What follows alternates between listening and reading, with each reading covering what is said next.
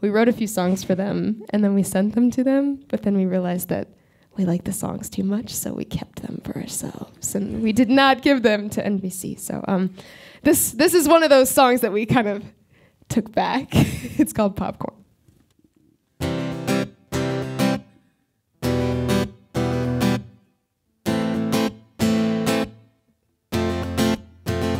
This were a movie, would? Show our ugly faces and worldly spaces that no one really afford. My anxiety be quirky and charming. See our jealousy is love for me instead of just a line. But no, if this were a comedy, be all in the time. Find a convenient resolution with a perfect silver lining. You'd write me and then we'd swear ourselves as strangers and our friends would play. But no, this isn't a movie. No use in pretending.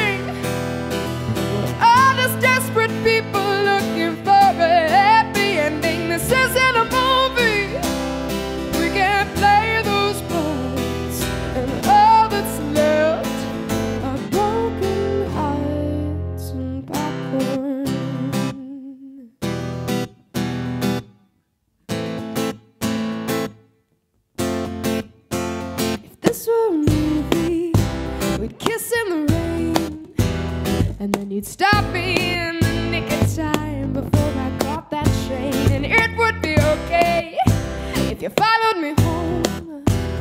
Because anything is better than a girl who's all alone. But this